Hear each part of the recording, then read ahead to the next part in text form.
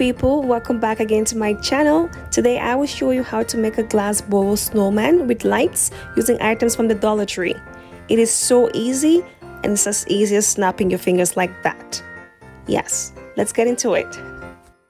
I hope your weekend was great and if you're new to my channel please do not forget to hit that subscribe button.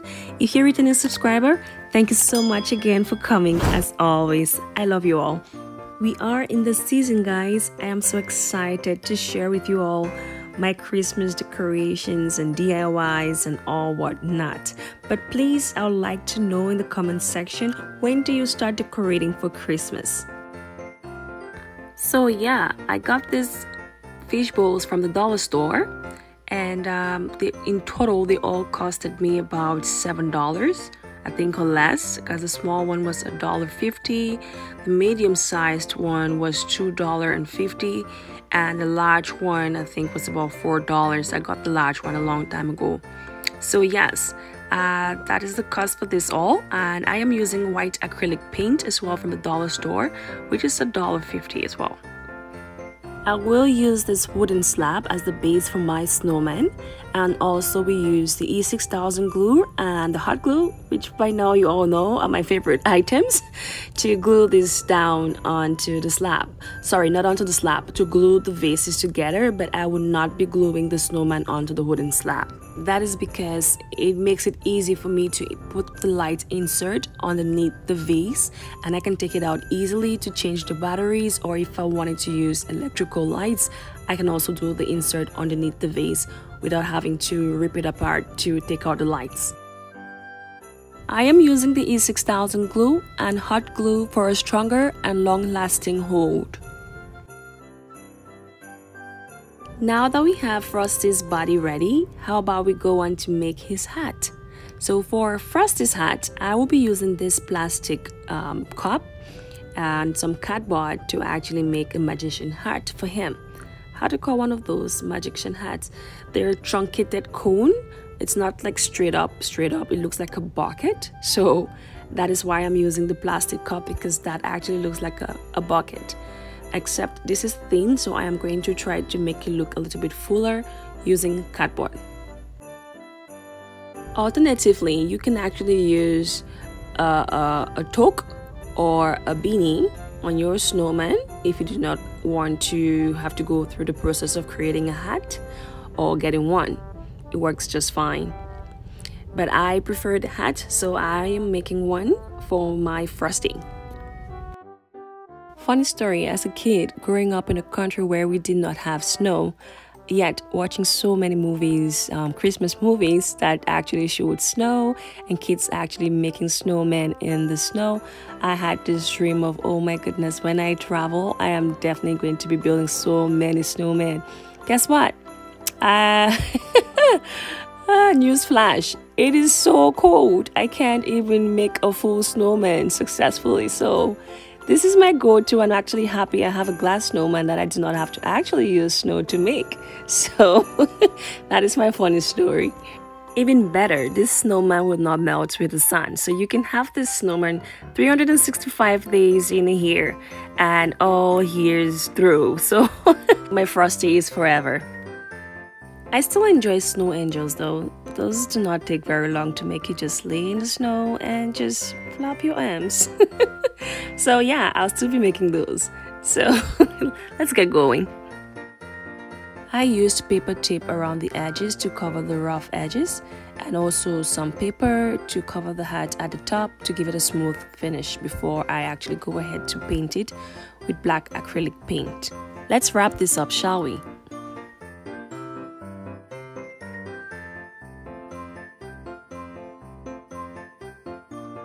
Like you would have noticed, my hat is not hollow, obviously because my Frosty's head is flat. So if you're using a round shaped um, item for your Frosty's head, you may want to make your hat hollow to accommodate uh, the rest of his head. Otherwise, you may want to cut it so it's flat at the top as well because I will glue this down onto the head of my Frosty.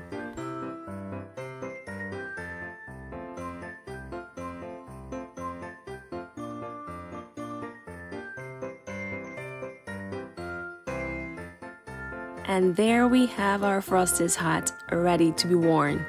Next, I will be using these glass rocks from the dollar store as buttons and eyes for my Frosty. So I just painted over them with black acrylic paint as well. For Frosty's arms, instead of using wooden branches, I will be using aluminum foil to make one. And um, that is mainly because I wanted my Frosty's arm to be flexible because I will be attaching a gift to his arm and branches with branches you can to do that. So yes, you could use aluminum foil to create your Frosty's arm or if you prefer branches, by all means, go ahead.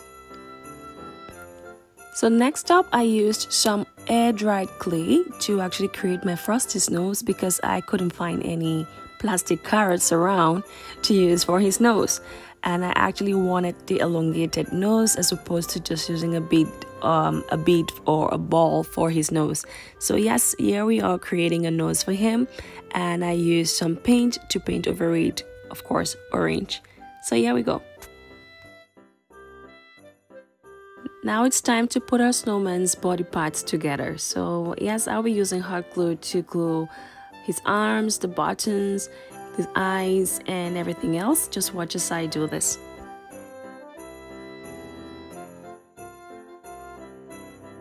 So I had cut out a smiley mouth for my Frosty, but it looked too happy for my liking. Well, that is a bad thing, so I changed the idea and just decided to give him a thin mouth that was smiling, and that was good enough for me. So, yeah. And so our snowman is coming all together and alive, but I needed to give some life to his eyes. So there we go, adding some pop in his eyes so my Frosty can actually see me.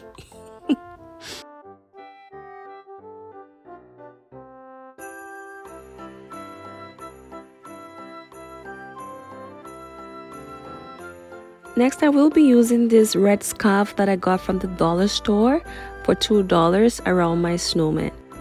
Oh, he looks like he's telling me thank you. Do you wanna build a snowman? okay, alrighty. So now I'm just gonna add some touches to his hat uh, before I go on to put that on his head. I will be using some pine, um, artificial pine, of course, and some holly berries and um, some jute burlap actually on his head just for some Christmassy touch, you know. And let's get this going. And now my Frosty is set for Christmas. All I have to do is glue down the hat onto his head. I'm sorry, Frosty. Uh, okay, and there we go. So, yeah, next thing will be for me to add the lighting, uh, which to me is the major part of this project. So, yes, my snowman is ready. So I'm using some lights that I got from AliExpress. Um, these actually, I got 10 of these, I think for about $15. I actually use them for decorations. So yes, I'll be using one of those for my Frosty to give him an extra touch. And there we go. You need to see this in person. It looks amazing. This is not doing it any justice. Still on my Dollar Tree Christmas decorations 2020, I will be doing using these wine glasses actually to create some snowman heads as candle holders. So watch as I do this. What is Christmas without some bling? So of course, yes, I'll be using this gold glitter all over the bottom of these wine glasses before um, I go ahead to paint the inside with white acrylic paint. Just like with the snowman, I am painting the inside instead of the outside for obvious reasons, so it is not easily stained.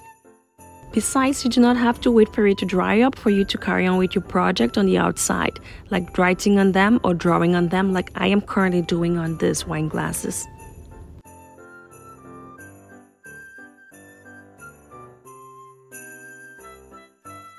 And oh, I got these wine glasses from the dollar store as well for a dollar fifty each. The smallest one I think I got for a dollar. Next, I will be using these ribbons to create some bows for my beautiful looking snowman heads. There are so many fun ways you can decorate your home for Christmas, and this is one of them. you just need to get creative and just make it yours and do you. I always say that do you. Even better, this is DIY on a budget. You do not have to break a bank to get creative. You do not have to break a bank to get all fancied up. So you can actually make yours and voila, we have our candle stands ready for Christmas. Unique pieces for you and you only. Again, DIY, the whole purpose is to create pieces that can only be found in your home. If anything, you can find similar but not the same. Putting everything together, I really loved how everything turned out. Um, there we have my Frosty and he comes bearing gifts as you can see. So yes i really loved the outcome so far. And next i will show you how the lights work and how it looks in the dark. It is really really lovely. I am of course using flameless candles um, because I do not want the wax going down onto the wine glasses, the bling especially, and the bow ties. So yes, I'm using flameless candles. And if you can spot my Santa making some gingerbread Ginger Man cookies, I think. I got that from the thrift store. Who, believe it or not, I got that for a dollar. There was no way I was gonna let that go. The things we find at the thrift store. this would be a rare find for me. I really, really loved it. I just love it. Here is how it looks in the dark. You could choose to use battery operated lights or you could actually buy electrical lights and actually put underneath. It's all up to you. And these you can find easily at the dollar store, Walmart, or Amazon. And that sums it up today for our Dollar Tree Christmas Decorations 2020 on how to make a glass lighted snowman. So please let me know in the comment section if this is something that you would like to try sometime.